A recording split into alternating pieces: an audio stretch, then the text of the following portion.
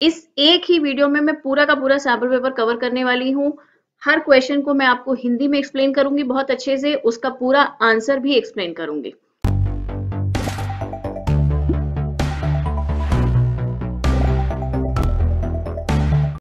Hello students welcome to homework help by RG CBSE के term two sample paper से आप सभी को क्वेश्चंस का पैटर्न तो क्लियर हो गया होगा।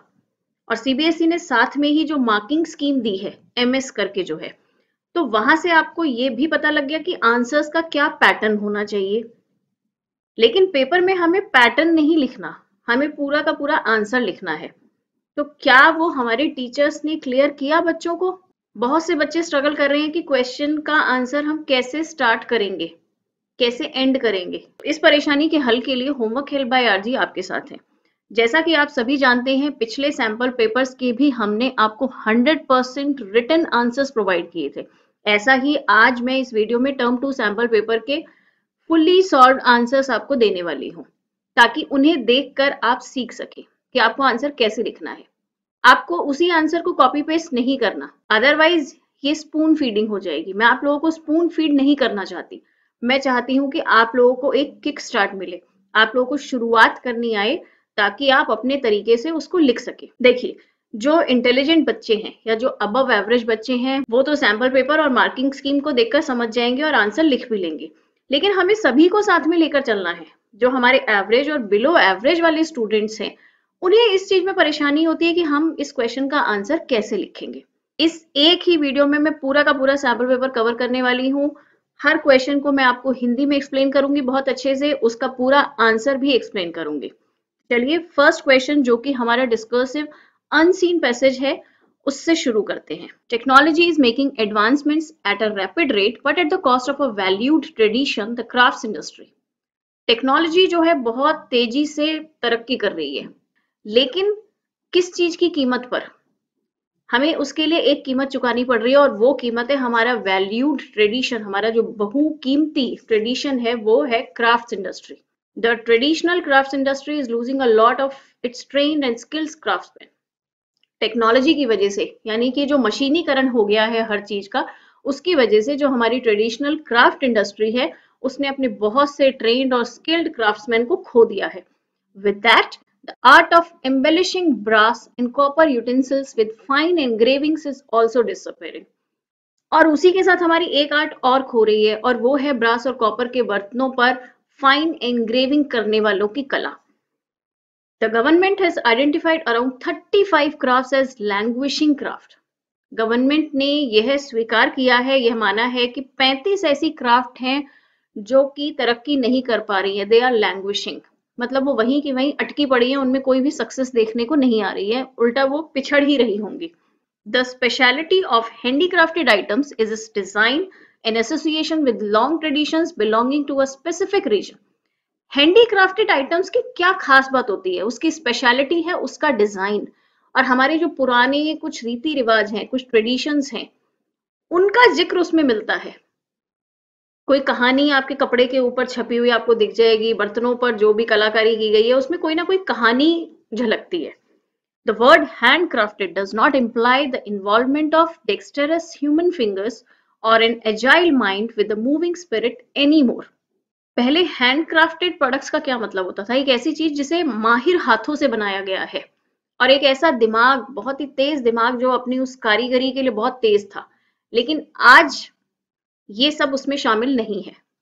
Lessening drudgery increasing production and promoting efficiency have taken precedence आज कौन सी चीज़ें आगे आ गई हैं? कि एफिशिएंसी होनी चाहिए प्रोडक्शन ज़्यादा होनी चाहिए। और जो बोर्डम है ड्रजरी वो कम होनी चाहिए। The labour saving devices are taking the place of handcrafted tools and this has jeopardise the skills of these artisans हमारे जो मशीनें हैं, उन पे लेबर का काम कम हो जाता है। Mechanisation has made its way into everything cutting polishing edging designing etcetera ideally the use of machinery should be negligible and the handicraft should be made purely by hand with a distinguishable artistic appeal However, with the exception of small scale industries, the export units are mostly operated by machines. और अगर small scale industries को अगर आप छोड़ दो खाली तो उसके अलावा जितनी भी एक्सपोर्ट यूनिट्स हैं वो सब की सब मशीनों पर ही काम करती हैं The heavily computerized designs contribute to faster production at lower cost. अब मशीनें इस सब चीज़ों की जगह क्यों ले रही हैं क्योंकि इनमें प्रोडक्शन बढ़ती है और कॉस्ट कम हो जाती है हर कोई फ़ायदे के लिए काम कर रहा है Although mechanization of crafts poses a challenge to safeguarding traditional crafts, the artisans are lured with incentives in order to impart handicraft training. हालाँकि मशीनीकरण होने से जो हमारी ट्रेडिशनल क्राफ्ट है उनको नुकसान पहुँचता है। लेकिन फिर भी जो हमारे पुराने जो आर्टिस्ट हैं वो इनकी तरफ़ अट्रैक्ट हो जाते हैं। वो अपना हुनर अपनी कलाकारी इन दूसरे लोगों को सिखा देते हैं जो मशीन पर काम करना चाहते हैं। Some makers do see machines as a time-saving blessing since they are now able to accomplish difficult and demanding tasks with relative ease. और बहुत से ऐसे भी हैं जो मशीन को इसलिए एक्सेप्ट कर लेते हैं क्योंकि वो टाइम सेविंग है और उनके जो मुश्किल काम है वो इजीली हो जाते हैं These machines might give a better finish to these products, but they do not stand out as handcrafted. हो सकता है कि मशीन से बनी हुई चीज़ों में सफ़ाई ज़्यादा हो बेटर फिनिश हो लेकिन उन्हें हैंडक्राफ्टेड नहीं कहा जा सकता quantity has overtaken quality in this industry आज इस इंडस्ट्री में भी क्वालिटी को क्वांटिटी ने ओवरटेक कर लिया है। A need to highlight the importance of the handmade aspect is required by both the government and private sector in order to amplify awareness and also support the culture of making handicraft तो private sector को और सरकार को मिलकर इसके लिए awareness create करनी चाहिए ताकि इसको सपोर्ट मिल सके। A few artisans are still trying their best to rejuvenate and revive their culture and heritage, but it is an uphill task competing with the machine made goods. बहुत से ऐसे कारीगर हैं जो अभी भी अपनी कल्चरल हेरिटेज को बनाए रखना चाहते हैं लेकिन इस मशीनों वाली दुनिया में ये बहुत ही मुश्किल टास्क दिखाई देता है A multitude of artisans have changed their professions and are encouraging their progeny to follow the suit. बहुत से आर्टिजन्स ने अपना प्रोफेशन चेंज कर लिया है। जो पहले हाथ का काम करते थे, अब वो किसी और काम में आ गए और अपनी आगे आने वाली जेनरेशन को भी यही कह रहे हैं कि इस पुराने हाथ के काम में कुछ नहीं रखा, नया काम ढूंढो जिसमें ज़्यादा पैसा मिले। There are others who have state their ground but are clearly inclined to watch buying machine कुछ ऐसे हैं जो थोड़े बहुत अभी अपने इस पुराने काम से जुड़े हुए हैं, लेकिन वो भी मशीनों की तरफ़ आकर्षित हो रहे हैं। Nearly two decades ago there were around 65 lakh artisans in the country three years ago when the government started the process of granting a unique number to the artisans based on the aadhar card 25 lakhs were identified 20 साल पहले 65 lakh artisans थे हमारी country में लेकिन तीन साल पहले जब दोबारा से पता लगाया गया तो केवल 25 लाख ही पाए गए Loss of traditional craft is clearly a worrying issue, but it stands to reason that forcing any artisan to follow old ways when concerns of livelihood overrule other considerations is unfair. हमारी traditional craft जो है वो खोती जा रही है, ये बहुत ही चिंता का विषय है लेकिन हम किसी आर्टिजन को फोर्स नहीं कर सकते और खास तौर से तब फोर्स नहीं कर सकते जब उसको अपने जीवन यापन के लिए भी कमाना मुश्किल हो रहा है सीबीएसई e ने अपनी मार्किंग स्कीम में ये स्पेसिफाई किया है कि यहाँ पर अनसीन पैसेज के आंसर लिखते हुए आपको एज इट इज़ पैसेज वाली लैंग्वेज नहीं लिखनी है। लेकिन एक अच्छी बात यह है कि आपकी छोटी मोटी ग्रामर या स्पेलिंग मिस्टेक्स के मार्क्स नहीं काटे जाएँगे। वन मार्क का क्वेश्चन है आपका तो उसके हिसाब से आप 20 टू 40 वर्ड्स में इसका आंसर लिख सकते हैं। लेकिन आंसर आपका टू द पॉइंट होना चाहिए। What does the writer mean by calling handicrafts a valued? Writer का यहाँ पर क्या मतलब है जब वो हैंडीक्राफ्ट को एक वैल्यूड ट्रेडिशन बोलते हैं? तो वैल्यू ट्रेडिशन का मतलब है एक कीमती हमारे जो रिवाज चले आ रहे हैं। हैंडीक्राफ्ट को वैल्यू ट्रेडिशन इसलिए कहा जाता है कि हैंडीक्राफ्टेड चीज़ों में उन लोगों की स्किल दिखाई देती है, उनका टैलेंट दिखाई देता है और कहीं ना कहीं जो उनका एक हेरिटेज है, जो उन्होंने अपने पूर्वजों से चीज़ें सीखी हैं और उनका कल्चर है परिवार का, वो झलकता है। इसलिए वो उसे वैल्यू ट्रेडिशन कह रहे हैं। The writer means to say that handicrafts preserve rich traditional art, heritage and culture, traditional skills and talents which are associated with people's lifestyle and history. इसलिए उन्हें value tradition कहा जा रहा है. Question 2. Rewrite the following sentence by replacing the underlined phrase with a word that means the same from lines 5 to 15. If it continues, the vacation trend will be a powerful boost to domestic tourism operators failing to make progress in economic slump caused due to the pandemic. ये एक vocabulary based question हो गया जो underlined word है failing to make progress इसकी जगह पर हमें एक वर्ड लिखना है पैसेज से उठाकर। तो पैसेज में हमारा आया था वर्ड लैंग्विशिंग लैंग्विशिंग का मतलब है जैसे कि वहीं पर लटके रहना, कोई तरक्की ना करना। तो आप पूरा का पूरा सेंटेंस लिख सकते हैं फेलिंग टू मेक प्रोग्रेस की जगह पर लैंग्विशिंग लिख दीजिए। या फिर मार्किंग स्कीम में कहा गया है कि अगर आपने सिर्फ़ लैंग्विशिंग भी लिख दिया तो भी आपको पूरा एक नंबर मिलेगा। वोकेबलरी तो याद करनी ही पड़ेगी थोड़ी बहुत। जब भी आप कोई अनसिन पैसेज करते हैं तो एक टारगेट रखिए कि इस पैसेज से मैं कम से कम पाँच वर्ड तो ज़रूर सीखूँगा नए, और उनसे सेंटेंसेस बनाइए। तभी आपको वो याद रहेंगे। खाली उनका मीनिंग जानने से आप उन्हें याद नहीं रख सकते। आपको उन्हें यूज़ करना आना चाहिए। Third question state any two reason why artisans are choosing to work via machines rather than handcrafted tools. अब यहाँ पर हमें रीजंस बताने हैं कि हैंडक्राफ्टेड टूल्स की जगह वो मशीनों की तरफ़ क्यों जा रहे हैं।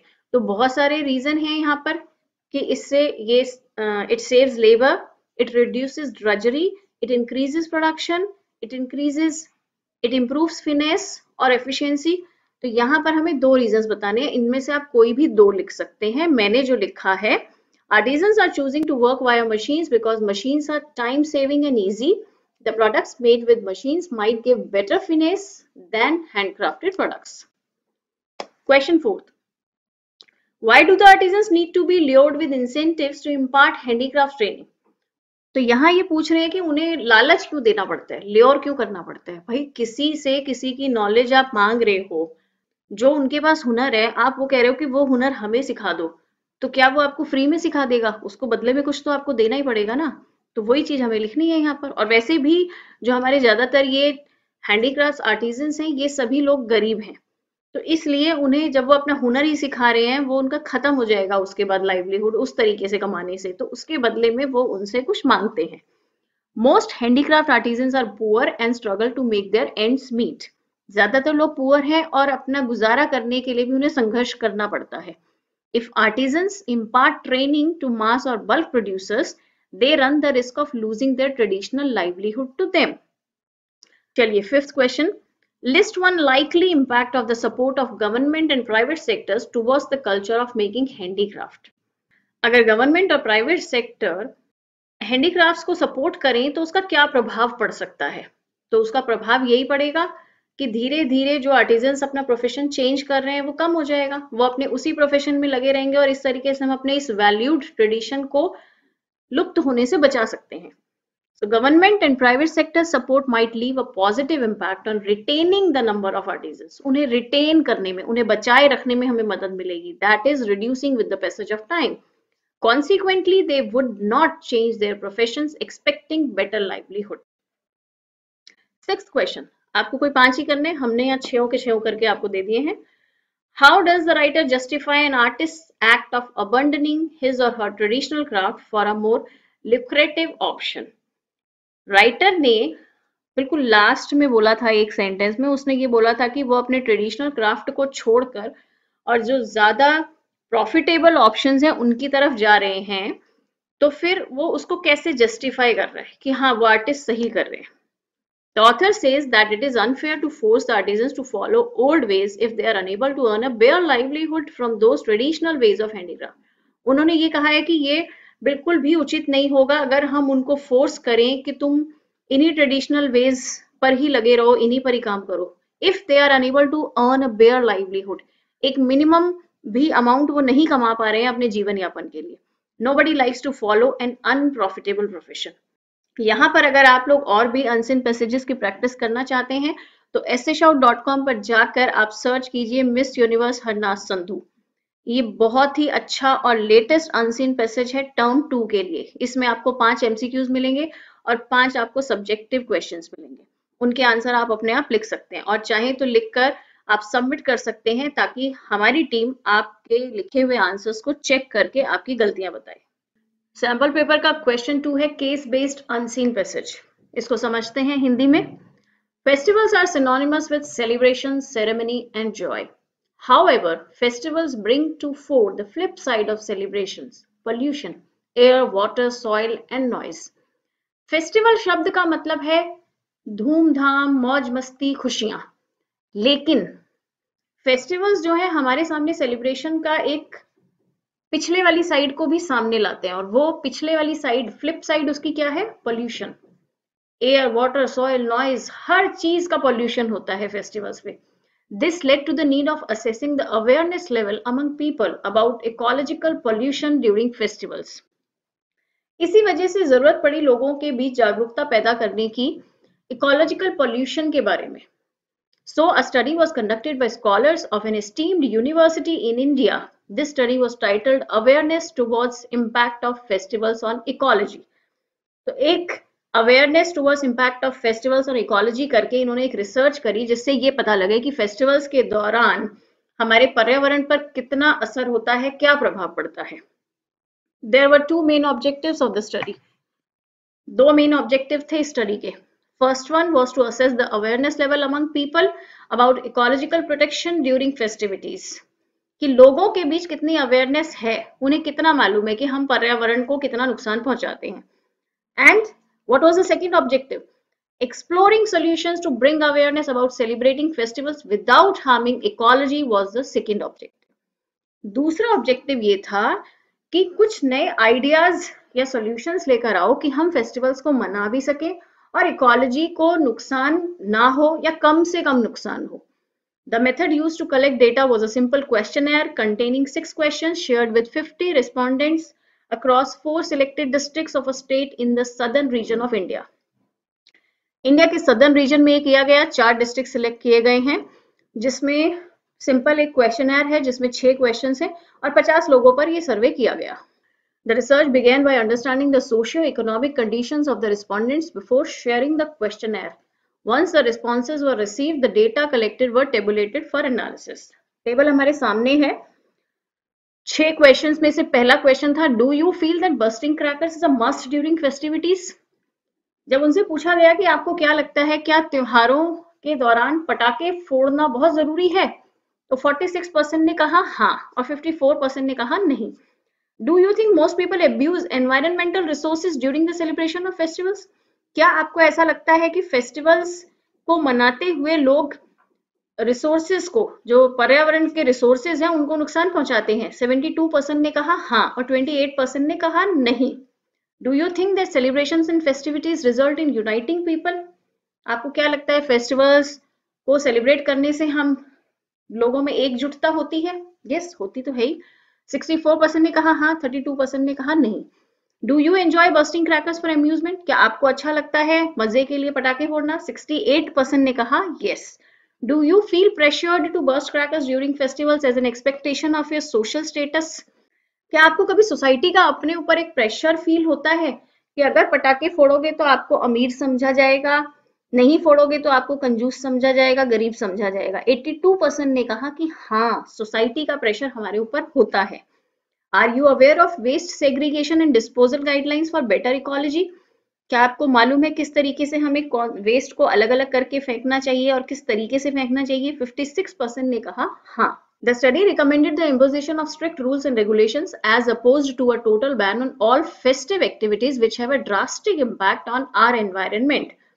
अब स्टडी का क्या रिज़ल्ट निकला? वो ये कह रहे हैं कि किसी भी फेस्टिवल को पूरी तरीके से बैन करने की बजाय हमें कुछ स्ट्रिक्ट रूल्स और रेगुलेशंस के अंदर उसको मनाना चाहिए ताकि हमारे पर्यावरण पर कम से कम नुकसान हो The researchers believe that such measures would help in harnessing some ill effects that add to the growing pollution and suggested further studies be taken up across the country to assess awareness about ecological degradation.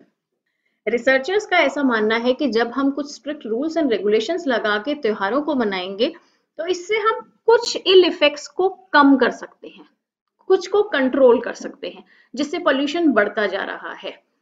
The observation made in the study pointed to the environmental groups and eco clubs fighting a losing battle due to city traffic issues disposal of plastics garbage dumping and all sorts of ecological degradation जो ये study की गई, इसने इशारा किया environmental groups और eco clubs की तरह। जो एक ऐसी लड़ाई लड़ रहे हैं जो एक हारी जा चुकी लड़ाई को लड़ रहे हैं। सिटी ट्रैफ़िक इश्यूज़ की वजह से प्लास्टिक वेस्ट को फेंकने की वजह से, या किसी भी तरीके के गार्बेज को फेंक रहे हैं जिससे पर्यावरण को नुकसान हो रहा है। The research stressed that the need of the hour is increasing awareness among people to reduce environmental pollution which can be facilitated by celebrating all festivals in an eco friendly manner उन्होंने इस बात पर ज़ोर दिया कि आज की आवश्यकता क्या है? लोगों के बीच जागरूकता बढ़ाई जाए। कि एनवायरमेंटल पॉल्यूशन को कैसे कम करना है ताकि वे अपने सभी त्योहारों को एक इको फ्रेंडली मैनर में मना सके, जिससे एनवायरमेंट को नुकसान ना हो। कोई ऐसा तरीका उन्हें ढूंढना चाहिए। तो इस अनसीन पैसेज के क्वेश्चंस के आंसर भी आप लोगों के सामने लिखे हुए हैं। ये यहाँ पर मार्किंग स्कीम के हिंट नहीं है। जो मार्किंग स्कीम में उन्होंने हमें गाइडलाइंस दी हैं, जो हमारे बाकी सभी यूट्यूब चैनल्स आपको समझा रहे हैं। First question why do the researchers call pollution the flip side of festivals pollution को फेस्टिवल्स की एक पिछला पन्ना क्यों कहा जा रहा है? पिछला हिस्सा क्यों कहा जा रहा है? अब यहाँ पे ये आप लोगों को पता है कि फेस्टिवल का मतलब है एयर भी पोल्यूट होएगी वाटर भी पोल्यूट होएगा। जब सब लोग इकट्ठे होंगे गैदरिंग होती है फेस्टिवल को मनाने के लिए, रामलीलाओं के दौरान तो कितनी गंदगी भी मचती है और शोर शराबा भी होता है नॉइज़ पोल्यूशन भी होता है। लेकिन इसको लिखें कैसे? तो देखिए इसको लिखने का तरीका। With the celebration of festivals we un unintentionally pollute our ecology by throwing leftovers in water busting crackers in the air and playing loud music festivals का मतलब होता है गेट टुगेदर शोर शराबा। तो बिना इसके तो फेस्टिवल की फीलिंग ही नहीं आएगी। इसलिए हम लिखेंगे it is an inseparable yet ignore side of festivals that is why pollution is called the flip side of festivals second question Comment on the significance of the second objective of the study with reference to lines 7 to 12. Passage में writer कह रहे हैं कि इस study का second objective था कुछ इस तरीके के सॉल्यूशंस ढूंढना जिससे हम बिना पॉल्यूशन किए फेस्टिवल्स को मना सकें। तो पूछ रहे हैं कि इस सेकंड ऑब्जेक्टिव का क्या सिग्निफिकेंस है, क्या महत्व है? क्यों इंपॉर्टेंट है ये सॉल्यूशंस ढूंढना? ये सॉल्यूशंस ढूंढना इसलिए इंपॉर्टेंट है ताकि हम पॉल्यूशन भी ना करें, अपने एनवायरनमेंट को गंदा ना करें और साथ ही साथ हम अपने फेस्टिवल्स को भी सेलिब्रेट कर सकें। तो इसे हम कैसे लिखेंगे? The second objective tries to explore solutions by focusing on what needs to be avoided and corrected to solve the problem of pollution during festivals. क्या क्या हमें अवॉइड करना है और किन चीज़ों को, जिन चीज़ों को हम अवॉइड नहीं कर सकते, उन्हें हम कैसे सुधार सकते हैं, कैसे करेक्ट करेंगे? Third question justify the researchers recommendation for limiting the drastic impact of festival pollution on the environment with reference to lines 16 to 21 researchers की जो रिकमेंडेशन थी फेस्टिवल पॉल्यूशन के ड्रास्टिक इम्पैक्ट को कम करने की उसको आप कैसे जस्टिफाई करोगे आप उससे कैसे सहमत हैं तो रिसर्चर की रिकमेंडेशन थी कि 100 परसेंट बैन नहीं होना चाहिए हमें उसे स्ट्रिक्ट रूल्स एंड रेगुलेशंस के अंदर ही बनाना चाहिए it is highly justified because a complete ban may induce people to revolt moreover total banning does not create awareness among people to save the कि पूरा का पूरा जब बैन लगा देंगे तो लोग विद्रोह पर उतर आएँगे। सरकार के खिलाफ हो जाएँगे वो।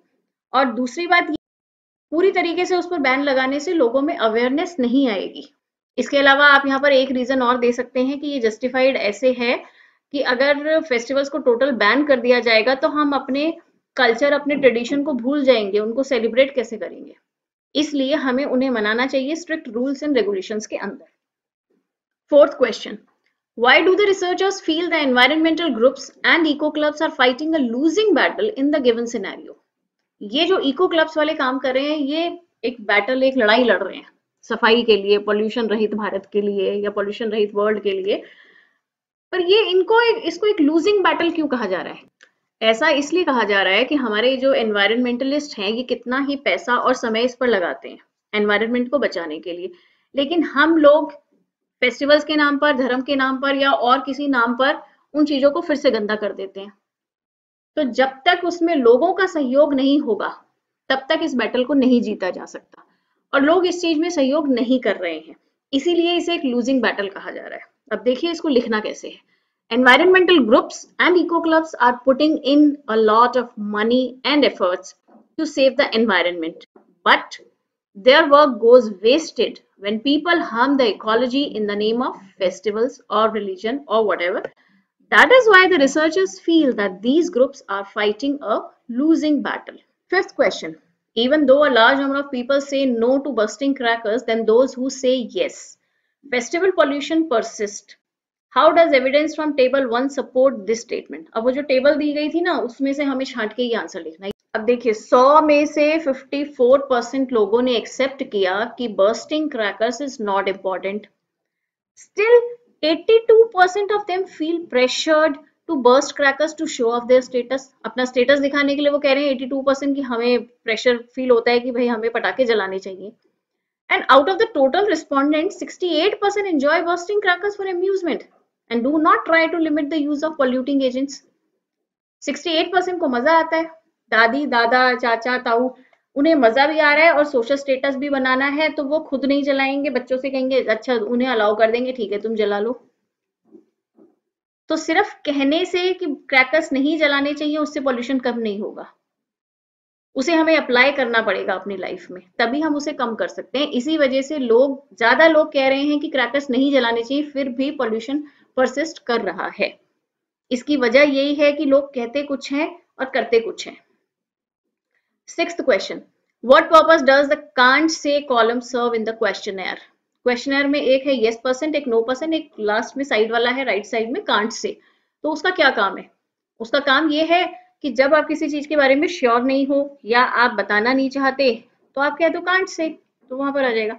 It allows the respondents not to answer any question एक तो इससे उनको ये मिल जाता है कि भाई हम इस सवाल का जवाब नहीं देना चाहते।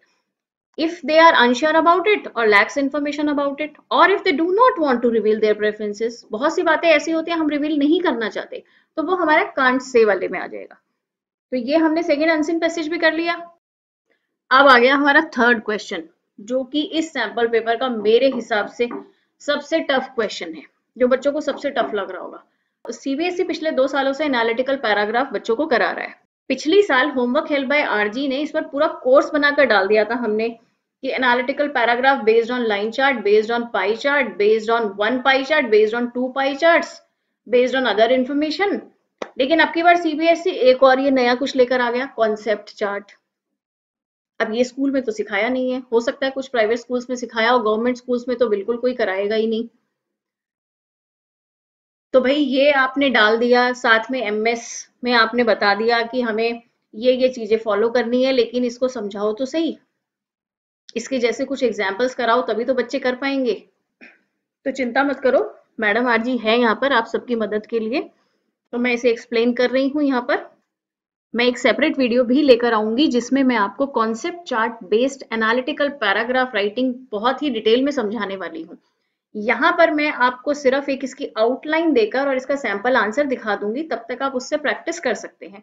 और सिर्फ़ दो या चार दिन में आपको इसकी वीडियो मिल जाएगी। Study the concept chart from the self help magazine section of a monthly publication एक मैगजीन में ये दिया गया है concept chart write a paragraph in not more than 120 words, analyzing the listed responses to the situation when one faces setbacks आपको एक paragraph लिखना है in not more than 120 words 120 word से ज़्यादा नहीं करना है बिल्कुल 100 से 120 के बीच में आप रह, रह सकते हैं।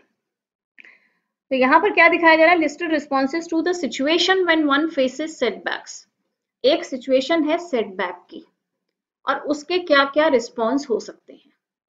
जब भी हम एनालिटिकल पैराग्राफ करते हैं तो ज़्यादातर हम कुछ चीज़ों को कंपेयर कर रहे हैं दो या दो से ज़्यादा चीज़ों को।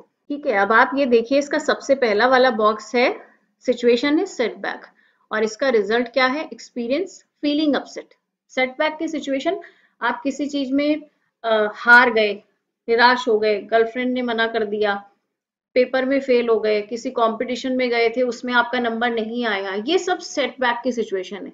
तो इन सबसे आपको कैसी फीलिंग होगी? यू वुड फील अपसेट तो उसकी आउटकम है फीलिंग अपसेट अब वो जो फीलिंग अपसेट है उसकी दो आउटकम्स और होंगी। एक तो आप उसको हेल्दी वे में प्रोसेस करो और दूसरा इनएबिलिटी टू प्रोसेस फुली जो हेल्दी वे में प्रोसेस करेंगे, वो सोचेंगे कि मेरी वहाँ पर क्या कमी रह गई, मुझे उस चीज़ से दोबारा कुछ नया सीखना है। या इस टाइप के लोग भी हो सकते हैं जो उसको लेट इट गो कर देंगे। छोड़ो यार, ठीक है, जो हो गया, सो हो गया।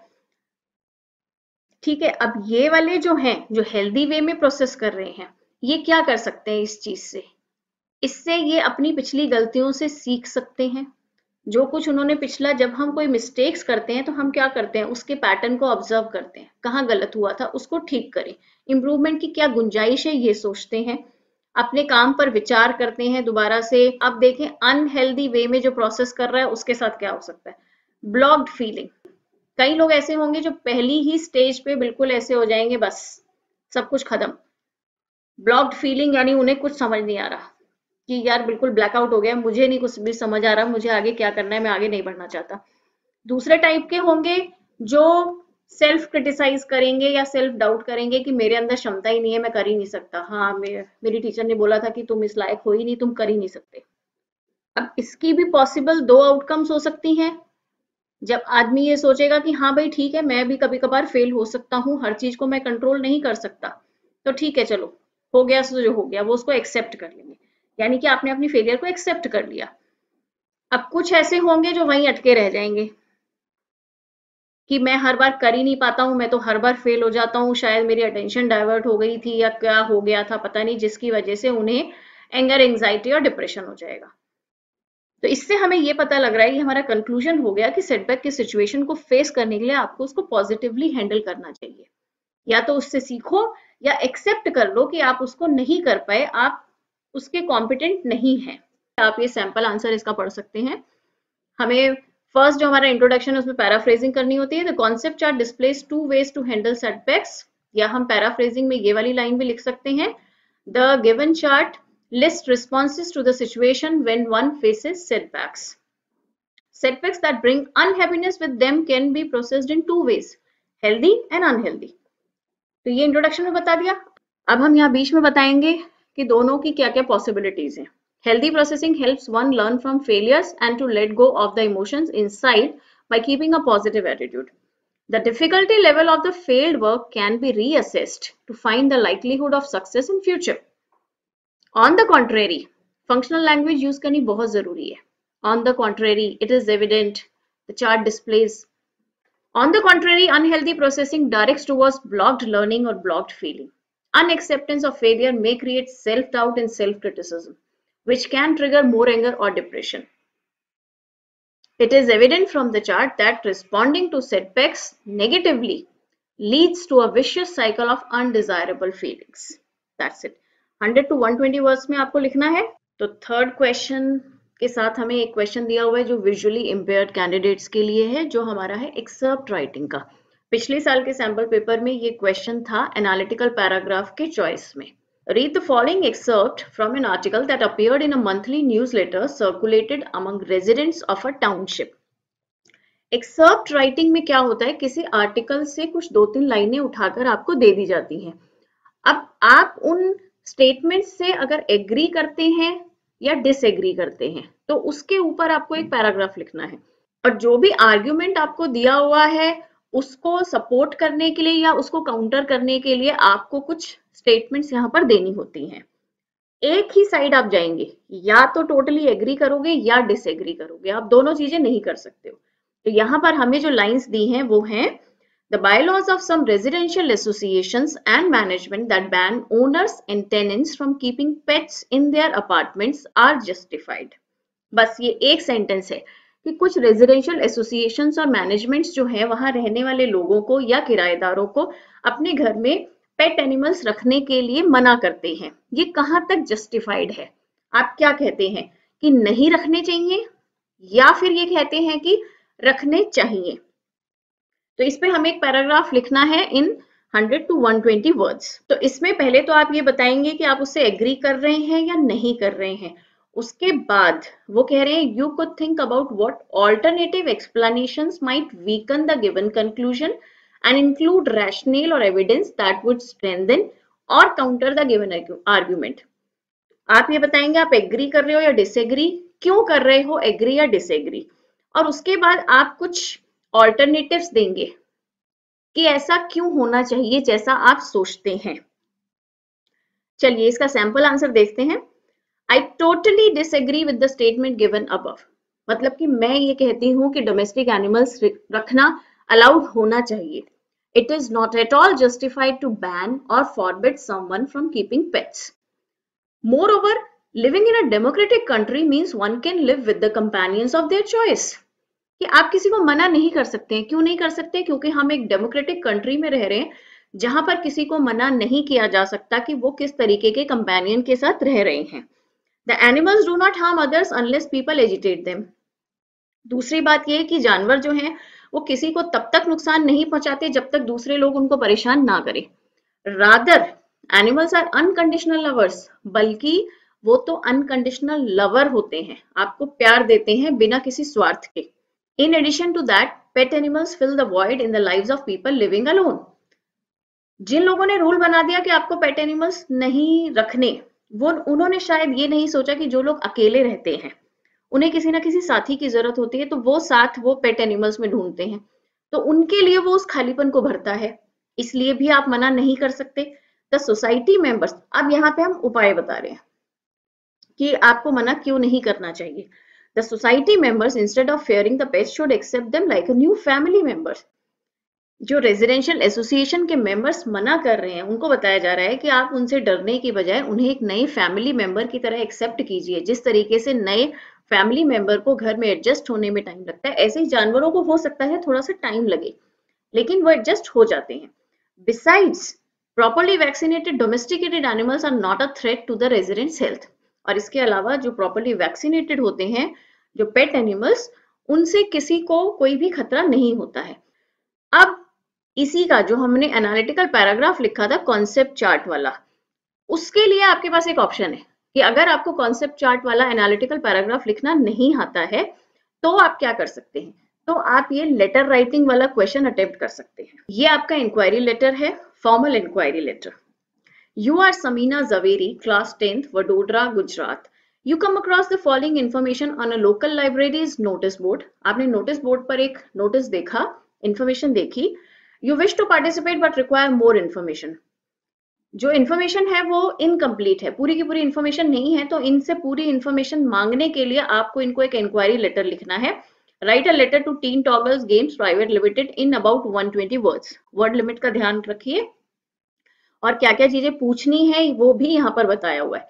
Inquiring about rules scholarship details and deadlines create an educational board game एक एजुकेशनल बोर्ड गेम बनाना है and send it to us at teen toggle games private limited 307 Satija building Colaba, Mumbai by July 2022 question में वो कह रहे हैं deadline के बारे में भी पूछो। वैसे डेडलाइन यहाँ पर दी हुई है। फिर कहा है तो हम उसे इंक्लूड करेंगे। The top ten winning board games will be featured on our international portal attractive scholarships for the winners winners को स्कॉलरशिप दी जाएगी लेकिन क्या स्कॉलरशिप मिलेगी कहाँ की मिलेगी ऐसा कुछ नहीं बताना तो हमें स्कॉलरशिप के बारे में भी इनसे पूछना है तो इंक्वायरी लेटर का फॉर्मेट हमारा सेम होता है जो हमारे किसी भी फॉर्मल लेटर का होता है sender's address one line space date one line space again then receiver's address, subject, salutation, body of the letter and then the closing. तो ऊपर आपने लिखा समीना जवेरी वडोदरा गुजरात डेट रिसीवर कौन है? Manager teen toggle game private limited Satija building Colaba, Mumbai. Subject क्या है? आप यहाँ पर क्या कर रहे हैं? इंक्वायरी कर रहे हैं बोर्ड गेम कंपटीशन के बारे में। Simply inquiry about board game competition salutation में आपका डियर सर मैडम अब जब भी हम कोई इंक्वायरी लेटर लिखते हैं तो हमें सबसे पहले बताना पड़ता है कि हमने आपकी एडवर्टीजमेंट या नोटिस कहीं पर देखा था, और मैं उस चीज़ में इंटरेस्टेड हूँ। लेकिन वहाँ पर पूरी इंफॉर्मेशन नहीं है, इसलिए मैं आपसे ये ये और ये इंफॉर्मेशन चाहता हूँ। फ़र्स्ट लाइन हमने लिखी this is with reference to a competition notice on the local library notice board कि लोकल लाइब्रेरी नोटिस बोर्ड पर ये लाइन इसी तरीके से लिखनी है this is with reference to that I am highly interested in participating in the board game competition, but needs detailed information that is lacking in the notice. मैं इसमें participate करना चाहता हूँ, लेकिन वहाँ पर पूरी इंफॉर्मेशन नहीं है। अब जो जो क्वेश्चन में कही है, वो वो चीज़ें हम यहाँ पर डाल देंगे। साथ में एक लाइन और लिख दी I visited your website also but could not find much information about the competition जो जो हमें पूछना है उनसे I wish to know all the rules and regulation of the competition before getting myself registered for it and it will be helpful if you could let me know in detail about the scholarship awarded to the winners moreover I am unsure if I can send group entries or only the solo entries will be accepted.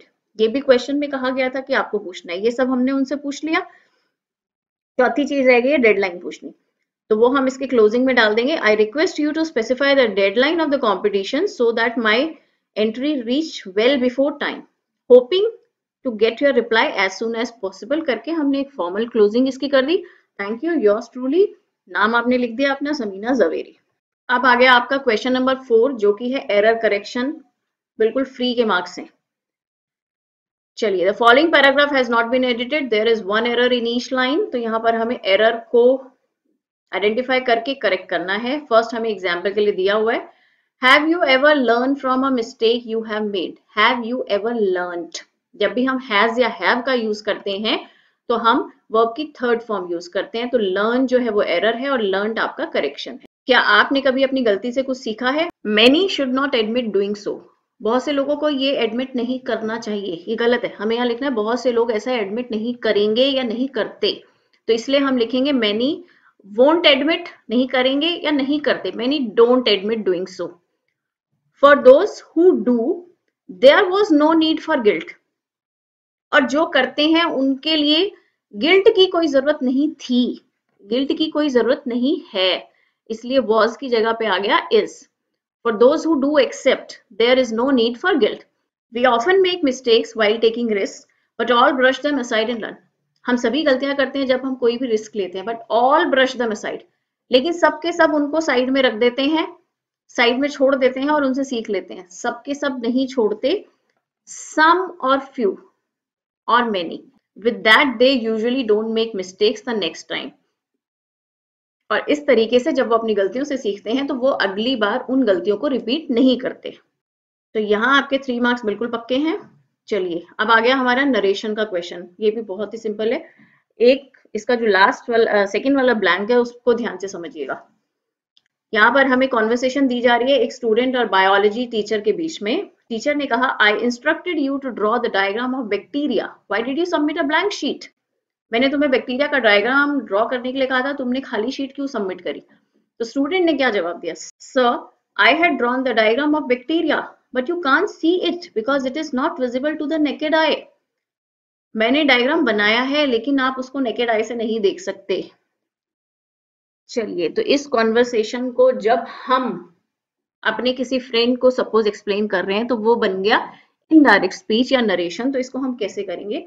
The biology teacher had instructed Samir to draw the diagram of a bacterial cell and asked him why he had submitted a blank sheet. Why आ गया? He you जो है आपका he में convert हो गया और did की जगह पे had आ गया. Why he had submitted a blank sheet. Samir respectfully answered that he had drawn the diagram, but he or she could not. Can का बन गया could? could not see it because it is not visible to the naked eye. Because it is का was नहीं होगा यही main point है क्योंकि ये यूनिवर्सल ट्रुथ है इसलिए ये was में चेंज नहीं होगा ये is ही रहेगा इसका आपको ध्यान रखना है ठीक है तो हमने दो सेक्शन कंप्लीट कर लिए हैं ए और बी अब हम आ गए हैं सेक्शन सी जो कि हमारा लास्ट सेक्शन है लिटरेचर का ये ट्वेंटी मार्क्स का है आपका इसमें आपके शॉर्ट आंसर क्वेश्चंस हैं जिसमें आपको 30 टू 40 वर्ड्स लिखने हैं और हर क्वेश्चन के टू मार्क्स हैं। सेवन में से आपको सिक्स क्वेश्चन करने हैं। फ़र्स्ट क्वेश्चन देखिए, आपको आपको पूरा का पूरा आंसर लिखा हुआ यहाँ पर मिलेगा। What is the significance of the Buddha's request for a handful of mustard seeds and the addition of a condition to it? Buddha ने जब किसा गौतमी से कहा कि किसी घर से मस्टर्ड सीड्स लेकर आओ तो उसका क्या सिग्निफिकेंस था? और साथ में उन्होंने जो शर्त लगाई थी वो शर्त लगाने की वजह क्या थी? तो हमें यहाँ पर इसको दो बातें बतानी है। एक तो उन्होंने मस्टर्ड सीड्स लाने को क्यों कहा और साथ में शर्त क्यों लगाई? तो बुद्धा ने मस्टर्ड सीड्स लाने को इसलिए कहा क्योंकि ये इजिली अवेलेबल हो जाते हैं। तो किसा गौतमी को लगेगा, अरे, ये तो बड़ा आसान है। लेकिन साथ में जो उन्होंने शर्त लगाई थी, वो शर्त पूरी होनी बहुत ही मुश्किल थी कि उस घर से लाना जिसमें किसी की डेथ नहीं हुई हो। तो ये कंडीशन उन्होंने क्यों लगाई?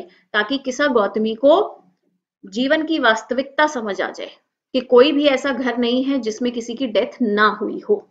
तो इसको कैसे लिखेंगे? Buddha's request for a of mustard seeds looks simple due to the easy availability of mustards in every house but the condition to procure them from a house where no one had died was attached to make Kisa Gotami realize that death is the ultimate reality of life and no one can escape it. ये line याद कर लीजिए इसके लिए death is the ultimate reality of life and no one can escape it second question justify how animals by Walt Whitman is a criticism of mankind and its ways. Animals poem जो है हमारी, उसमें Walt Whitman एक तरीके से Mankind को criticise कर रहे हैं, उनकी आलोचना कर रहे हैं, उनकी बुराइयाँ निकाल रहे हैं इस चीज़ को आप कैसे जस्टिफाई करोगे पोएम से एग्ज़ाम्पल लेकर समझाओ तो उसमें सीधा सीधा जो पोएट हैं, वो ये कहने चाह रहे हैं कि मैनकाइंड जो है, वो बहुत ही मतलबी है चीटर हैं और जेनविन नहीं है। इसलिए मैं चाहता हूँ कि मैं तो जानवरों के साथ जाकर रहूँ। ठीक है? यही चीज़ हमें इंग्लिश में लिखनी है। Animals poem by the poet is a direct criticism of mankind because the poet wishes to leave the humans humans को छोड़कर and join the animals animals को ज्वाइन करना चाहते हैं।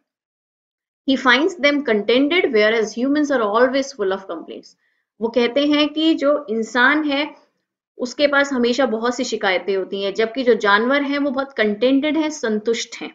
According to the poet human society believes in fake displays in contrast to animals who are true and genuine और जो human society है, वो उसको क्यों क्रिटिसाइज कर रहे हैं कि वो हमेशा दिखावे में विश्वास करते हैं, जबकि एनिमल्स बिल्कुल ट्रू हैं। ठीक है तो ये जस्टिफाइड हो गया, दो पॉइंट हमने यहाँ पर दे दिया क्योंकि दो मार्क्स का क्वेश्चन है। Question comment on the tone of the speaker when she says will you please look at me when I am speaking to you Amanda जब स्पीकर ने ये लाइन कही, क्या तुम मेरी तरफ़ देखोगी एक बार जब मैं तुम्हें बोल रही हूँ? तो उस टाइम स्पीकर की टोन क्या है? स्पीकर जो है वहाँ पर बहुत ही उससे गुस्सा है, बहुत ही चिड़चिड़ा हो चुका है फ्रस्ट्रेट हो चुका है, क्योंकि वो क्योंकि वो बार बार उस पर चिल्ला रहे हैं, लेकिन वो सुन नहीं रही है। इसलिए the speaker here is annoyed गुस्से में। गुस्से एंग्री से भी ज़्यादा होता है एनॉयड गुस्से में इरिटेटेड चिड़ा हुआ है फ्रस्ट्रेटेड फेडअप हो गया है कि अरे, क्या करूँ मैं इसका? So the speaker here is annoyed irritated and frustrate with Amanda because she does not listen to her yelling parent even after repeated instruction वो जो चिल्ला रहे हैं उसके ऊपर बार बार वो तब भी ध्यान नहीं दे रही है। और उसके अलावा इस पोयम में सबसे मेन है एक्सक्लामेशन मार्क जो कि अमेंडा वर्ड के साथ लगाया गया है। तो वो सजेस्ट कर रहा है inherent emotions of the speaker कि वो बहुत ज़्यादा गुस्से में है। Fourth question a ballad includes a telling of a tale as well as a surprise ending ballad एक तरीके का हमारा जॉनर होता है राइटिंग का, जिसमें आपको एक कहानी सुनाई जा रही है। जिसकी एक सरप्राइज़ एंडिंग होती है। Using evidence from the poem explain how these features are included in the tale of Custard the dragon तो कस्टर्ड द ड्रैगन को आप किस तरीके से एक बैलेड कह सकते हैं? पूरी तरीके से वो एक बैलेड है। The poem tells a story including many characters where a dragon is made fun of by everyone because he is a coward poem की शुरुआत होती है बहुत सारे कैरेक्टर्स के साथ जिनमें से ड्रैगन भी एक कैरेक्टर है जिसका मज़ाक सभी उड़ाते हैं क्योंकि वो एक डरपोक है। However, the end of the poem surprisingly depicts Custard as a hero who saves others' lives by attacking and gobbling up the pirate. लेकिन पोएम के अंत में अचानक से कस्टर्ड को एक हीरो की तरह दिखा दिया जाता है जो सभी की ज़िंदगी बचाता है। जब वहाँ पर एक पायरेट आ जाता है एक लुटेरा आ जाता है उसके ऊपर अटैक करता है और उसको खा जाता है। Fifth question which two issues about himself convinced Lomov of his decision to get married ये हमारे प्रपोजल प्ले में बहुत ही क्लियरली बताया गया था। लोमोव वहाँ पर चुबुकोव को बताते हैं कि किन दो वजह से मैं शादी करना चाहता हूँ। एक तो ये कि वो 35 ईयर्स के हो चुके हैं। दूसरी बात उसको पैल्पिटेशंस की जो परेशानी है वो ये चाहता है कि उसकी बीमारी में कोई उसकी देखभाल करने वाला हो। तो ये दोनों रीजन हम यहाँ पर लिख देंगे। Lomov wanted to get married to Natalia because he believed that he was already 35 years of age and it was a critical age for a man to settle into marriage. Besides, He suffered from palpitation. So he needed a life partner to support him in times of ill health. Proposal lesson के difficult words उनके Hindi meanings के साथ S पर आपको मिल जाएँगे वहाँ पर आप उससे रिलेटेड सेंटेंसेस भी देख सकते हैं ताकि आपको उन्हें अपनी राइटिंग्स में यूज़ करना आए six question briefly state how Matilda invited a dreadful life of necessity into her family.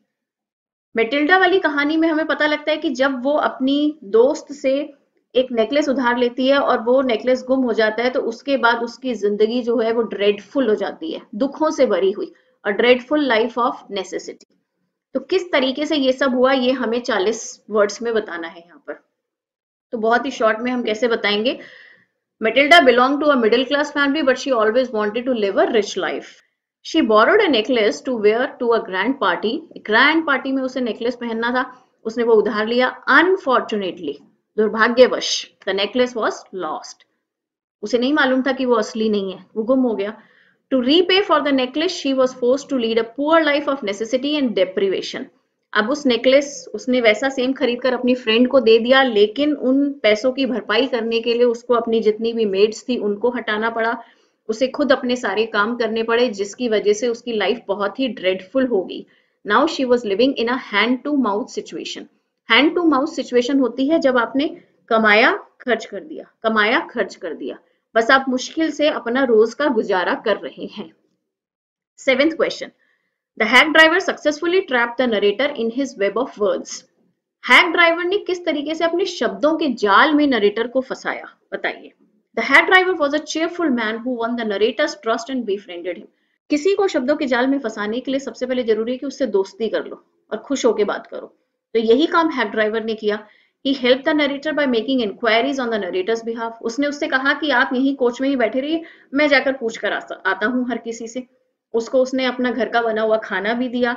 He befooled him to an extent that the narrator did not question him while paying out money. उसने उसको इतना बेवकूफ़ बना दिया कि पैसे देते हुए भी उसने उससे कुछ सवाल नहीं पूछे कि ये पैसे यहाँ पर क्यों दे रहे हो? Through his clever choice of word he successfully trapped the narrator in his web of word इस तरीके से सही चतुराई से, इस तरीके से चतुराई से शब्दों का इस्तेमाल करके उसने उसको अपने जाल में फंसा दिया। Parents play a crucial role in the upbringing of their children critically examine the parents of Bholi and Ebright highlighting their impact on their children's lifes तो ये लॉन्ग आंसर क्वेश्चन है। पहले थोड़ा सा आप कुछ इंट्रोडक्शन देंगे। क्वेश्चन के हिसाब से हम, उन्होंने कहा कि parents play a crucial role in the upbringing of their children तो उसी तरीके की हम कुछ थोड़ी सी मिलती जुलती लाइन बनाएँगे। Habits and behaviour of a child's parents make the outline of a kid's life किसी भी पेरेंट्स की बिहेवियर और हैबिट्स से ही एक बच्चे की लाइफ की एक आउटलाइन तैयार होती है, एक दायरा तैयार होता है। अब पहले भोली के बारे में बात करेंगे फिर ब्राइट के बारे में और लास्ट में फिर हम एक, या दो कंक्लूडिंग लाइन भी देंगे।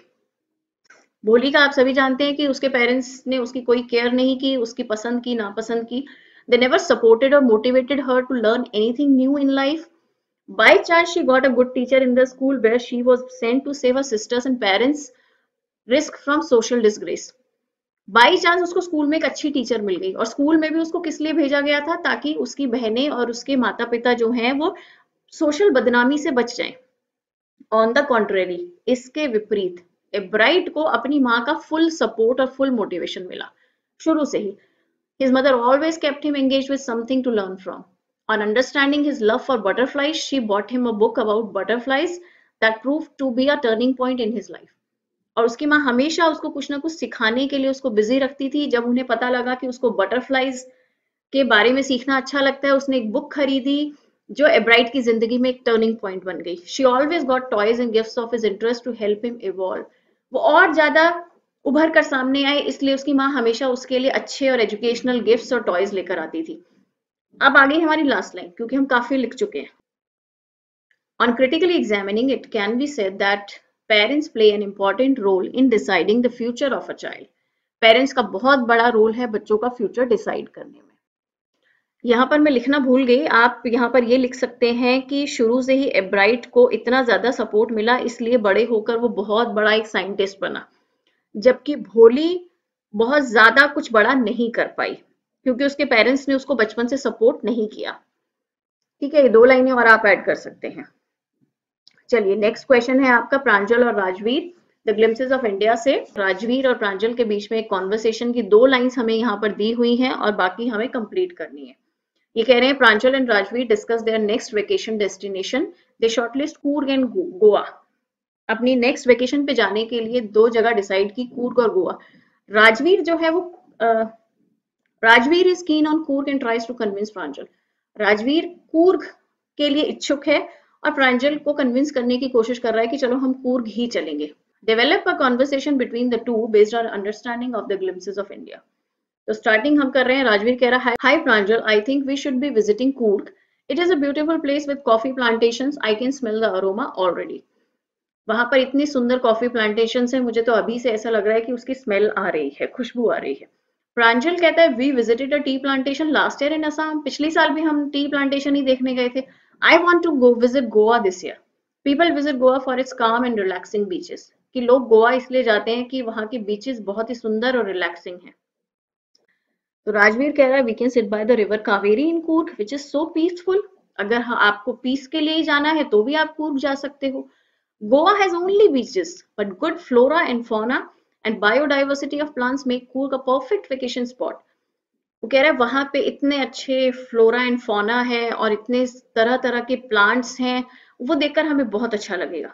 प्रांजल कहता है do you know that people from out of India also visit Goa we may get a chance to meet the foreigners there वहाँ पर फॉरेनर्स भी आते हैं। जब भी कोई डायलॉग राइटिंग का सवाल आता है तो मेरे हिसाब से आपको उसको ही चूज़ करना चाहिए, क्योंकि उसमें आप अपने मन से बहुत सी चीज़ें लिख सकते हैं। तो इस तरीके से ये इनकी बातचीत चल रही है। राजवीर कह रहा है कि you know Coorg is culturally so rich and the people of Coorg are famous worldwide for their bravery उसने कहा कि हम फॉरनर से मिल सकते हैं। तो राजवीर कह रहा है कि वहाँ पर, वहाँ के लोग अपनी ब्रेवरी के लिए बहुत मशहूर है और हम उन बहादुर लोगों से भी मिल सकते हैं। तो प्रांजल कह रहा है कि यार तुम कैसे भूल सकते हो कि उनका भी पोर्टुगीज और ब्रिटिशर्स का बहुत बड़ी हिस्ट्री है, बहुत ही अच्छी। तो राजवीर कहता है कि तुम्हें मालूम है, मैं तिब्बतन कल्चर को कितना एडमायर करता हूँ। And I read that the place is largest Tibetan settlement I am sure the environment will reflect peace and spirituality जो जो हमने ग्लिम्सेस ऑफ़ इंडिया में पढ़ा है कूर्ग के बारे में, वो सब चीज़ें आपको यहाँ इंक्लूड करनी है। क्योंकि राजवीर कन्विंस करने की कोशिश कर रहा है तो वो कूर्ग की सारी बातों को अपने अलग अलग सेंटेंसेस में गिनवाता जाएगा। फिर प्रांजल कहता है okay you did a commendable research about Coorg I can not argue any more let's prepare the itinerary for Coorg but Goa will be our next destination after coming back no more explanation now तो इस तरीके से प्रांजल उससे convince हो गया है। Sample paper का last question और ये बड़ा इंपॉर्टेंट क्वेश्चन है और मुझे लगता है बहुत सारे बच्चों को ये आता नहीं होगा पहली बार ही सुन रहे होंगे शायद कि ये क्या होता है? Fars Farce is a kind of comedy that includes situations and dialogues that are ridiculous, exaggerated, and even absurd. Evaluate the play, the proposal as a farce. अब ये हमारे राइटिंग के जैसे ये हमारे राइटिंग जॉनर्स होते हैं कि वो कॉमेडी है, वो हॉरर है, वो रोमांटिक है। इसी तरीके से हमारे एक होता है फार्स फार्स का मतलब होता है स्वांग, एक नौटंकी जैसे, कि जहाँ पर इस टाइप के कैरेक्टर्स या इस टाइप की स्टोरी होती है जिसको बहुत ही बढ़ा चढ़ा कर दिखाया गया है, बहुत ही फैशनेबल तरीके में दिखाया गया है, जो कि रियलिटी से दूर है। तो आपको ये बताना है कि प्रपोजल को क्या हम एक फार्स कह सकते हैं? Yes Proposal is an example of farce because the main characters Lomov and Natalia are both absurdly sensitive and so prone to arguing over minor issues. The characteristics of farce can also be seen through Lomov's dress and physical appearance which are unrealistic and dramatic. Lomov जो बड़े evening coat वगैरह पहनकर आ रहा है वो सब भी realistic नहीं लग रहा कि नेबर के घर जब आप जा रहे हो तो आप इस टाइप के कपड़े नहीं पहन कर जाओगे उनकी जो बातें हैं वो इस तरीके से माई लव माई डार्लिंग इस तरीके से बातें कर रहे हैं वो दिखावटी The most absurd situation is when Natalia drives Lomov out of her house and soon after she cries for getting married to him. और सबसे ज़्यादा अजीब तो उसमें वो वाली सिचुएशन थी जब नटालिया पहले उससे लड़ रही है, उसको अपने घर से बाहर निकाल देती है और अगले ही पल वो ये रोने लगती है कि मुझे उससे शादी करनी है, उसे वापस बुला कर लाओ। तो ये सब अनरियलिस्टिक है, बहुत एग्जेजरेटेड है। Chubukov is a stupid father Chubukov के बारे में भी हम, हमने यहाँ ऊपर लोमोव के बारे में बता दिया, नटालिया के बारे में बता दिया चुबुको के बारे में हम बता रहे हैं कि वो उसको बड़ा ही स्टूपिड सा फादर दिखाया गया जैसा यूजुअली फादर्स होते नहीं हैं। वो सिर्फ़ अपनी बेटी की डिमांड्स के हिसाब से चल रहा है। He so much obsess to get her daughter married with a rich man that he overlooks Lomov's diseases and illness वो एक अमीर आदमी से अपनी बेटी को शादी करने के लिए इतना ज़्यादा उत्तेजित है कि वो लोमोव की बीमारियों को ओवरलुक कर देता है, नजरअंदाज कर देता है। All these things make it to be called a farce. The humor in the play and the childish behavior of the characters make it ridiculous. Exaggeration can be seen when the characters on one hand speak with so much courtesy, while on the other hand they do not think twice before calling bad names and using foul language for each other and their family members. वैसे तो इतनी courtesy से वो बातें कर रहे हैं और फिर बाद में एक दूसरे के नाम निकाल रहे हैं चढ़ा रहे हैं उनको गाली दे रहे हैं so proposal is a perfect example of a farce तो ये हमारे सारे क्वेश्चंस यहाँ पर हो गए हैं। सिर्फ़ एक एनालिटिकल पैराग्राफ को मैंने यहाँ पर डिटेल में कवर नहीं किया गया है। उसके लिए वीडियो आपको एक या दो दिन में ही मिल जाएगी। उस वीडियो को देखना ना भूलिए। पूरी डिटेल्ड वीडियो होगी कि कॉन्सेप्ट चार्ट जब आपको दिया गया है तो आपको एनालिटिकल पैराग्राफ कैसे लिखना है। इस वीडियो को आप बहुत अच्छे से समझिए और कोई भी डाउट होने पर आप कमेंट करके मुझसे पूछ सकते हैं। तो मिलते हैं अगली वीडियो में। तब तक के लिए गुड बाय